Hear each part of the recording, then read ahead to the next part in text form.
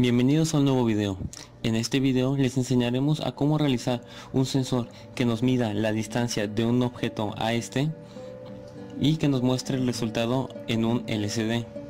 Para esto nosotros vamos a ocupar un PIC 16F877A y un sensor HC-SR04 como el que estamos viendo en la imagen con sus respectivos pines. La distancia que nosotros vamos a mostrar va a ser en centímetros. Nosotros ya hicimos los cálculos necesarios para que nos muestre esta distancia en esos parámetros. Y así ustedes solamente hagan lo que está en el video y no se enrollen haciendo operaciones y demás. Bueno, entonces ahora vamos con lo primero que sería realizar la programación en el software Pixel Compiler. Una vez en el programa y que nosotros ya hayamos creado un nuevo un nuevo documento en C y guardado en la ubicación que nosotros queramos, iniciamos a escribirlo. Recuerden que lo primero que hay que hacer será ingresar la librería del PIC que vamos a ocupar, que en nuestro caso va a ser la del 16F877A.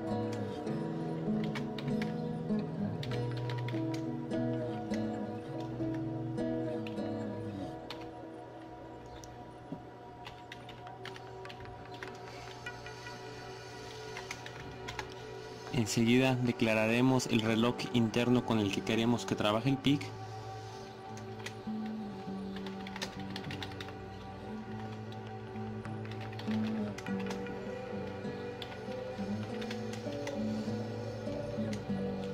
Y los siguientes uses.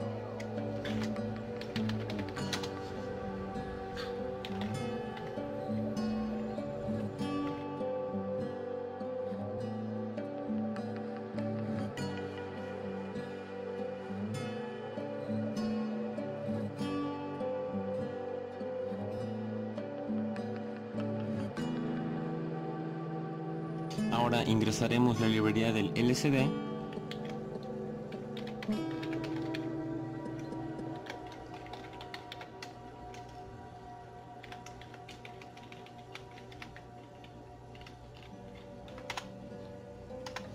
y declararemos el puerto B como entradas y salidas.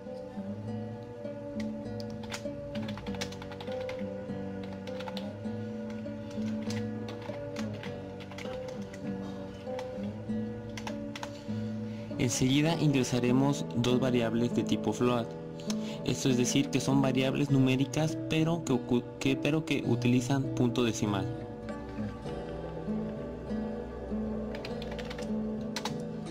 Aquí nosotros le vamos a dar el nombre que nosotros queremos. Yo siempre recomiendo que le den un nombre de acuerdo o que tenga que ver a la acción que van a realizar para que así después sea fácil identificarlas en sus programas. En nuestro caso, nosotros le ponemos una T a la que va a manejar el tiempo y una D a la que va a manejar la distancia. Ok, enseguida le daremos la instrucción de inicio de todo programa en C. Y recuerden que lo que vaya entre estos dos corchetes será todo el programa ejecutable. Ok, lo siguiente que haremos será ingresar la instrucción que va a iniciar el timer 1 del PIC en modo contador.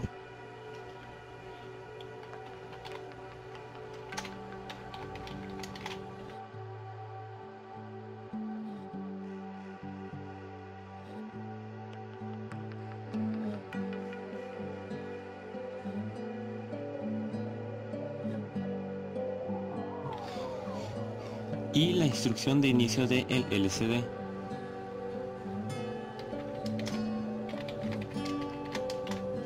Ahora, luego de esto ingresaremos a un ciclo infinito, como ya sabemos es do y while true.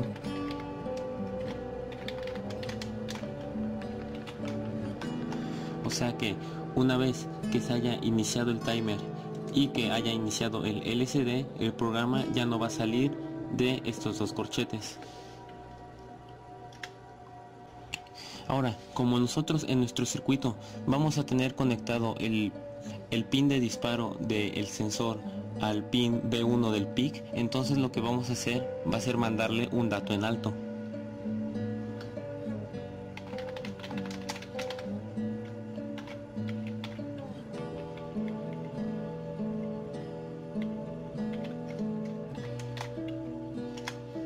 Y este lo vamos a mantener así por unos 10 microsegundos. Luego de eso lo vamos a volver a poner en bajo.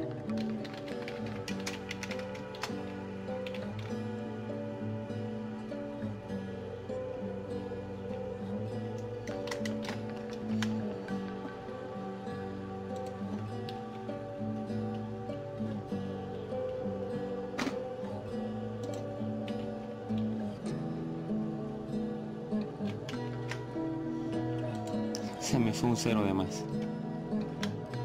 Ok, ahora vamos a darle las instrucciones para el pin receptor del sensor, que este va conectado al pin B0 de nuestro PIC.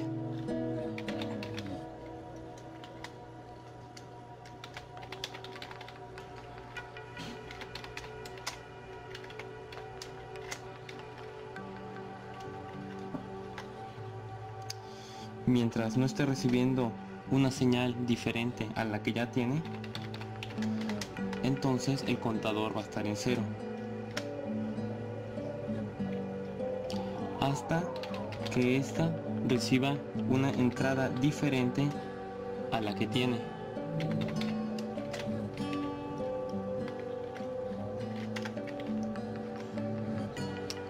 Y ahora vamos a ocupar una de nuestras variables.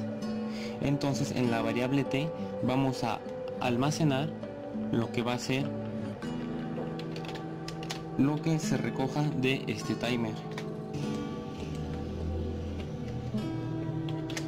O sea, en la variable t se va a almacenar el, el dato que se recoja de esta instrucción. Y enseguida a la variable d le vamos a dar el siguiente valor. Que va a ser el valor de la variable t, que ya dijimos que va a ser lo que recoja del dato del timer entre dos porque recuerden que el timer cuenta el tiempo que se tarda en ir y en regresar estos sonidos que manda el sensor. Entonces como nosotros solamente queremos la distancia una sola distancia entonces por eso tenemos que dividirlo entre dos. Entonces esa distancia va a ir dividida entre 29.15 que fue el resultado que nos dio en, las operación, en la operación que les mencioné en un inicio.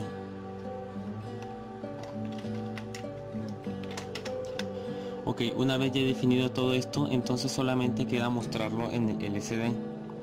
Para esto, vamos a posicionarnos en la fila 1 y la columna 1 de nuestro LCD que vamos a decir que en este caso vamos a ocupar un LCD de 4x20 ya que el que teníamos de 2x16 se descompuso. Y vamos a escribir en nuestro LCD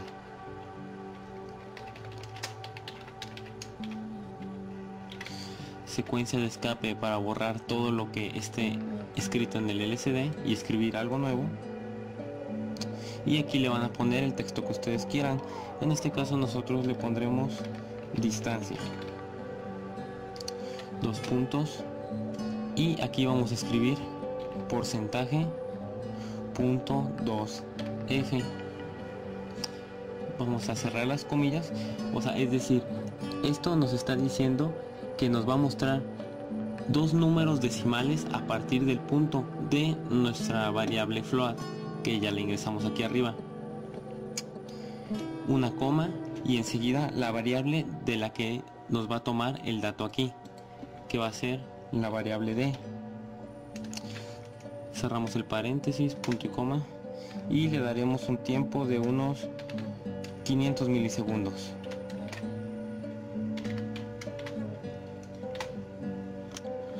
Bueno, y en sí esto es todo el cuerpo del programa.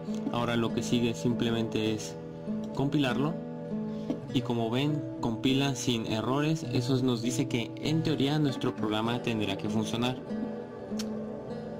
Ahora, enseguida nosotros vamos a mostrarle un circuito hecho en Proteus, pero solamente será el circuito hecho. No les podremos mostrar simulación, ya que este programa no contiene ninguna librería del sensor que nosotros estamos ocupando. Así que solamente se los mostraremos para enseñarles cómo van a ir conectados los componentes. Bueno y como vemos aquí tenemos nuestro circuito hecho en el software de Proteus.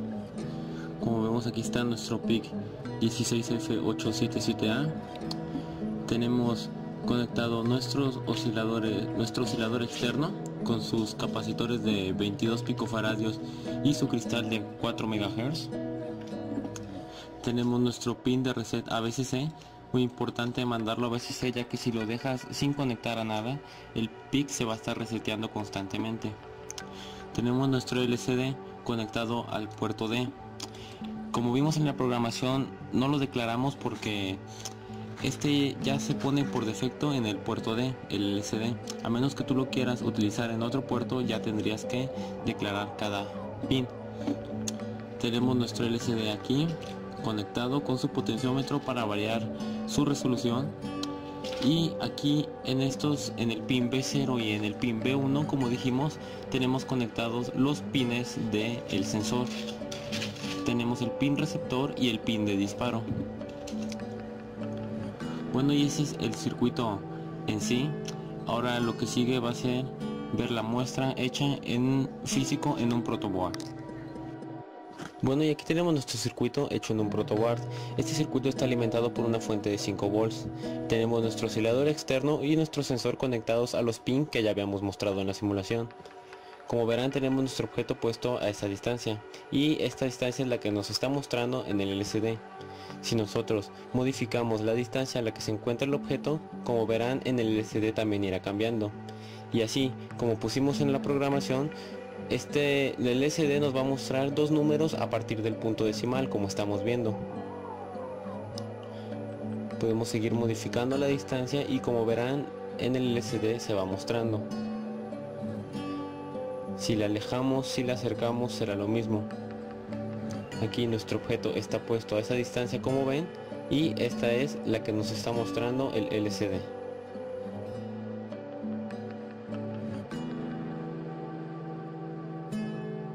Bueno y eso es todo por ahora, esperamos les haya servido este video.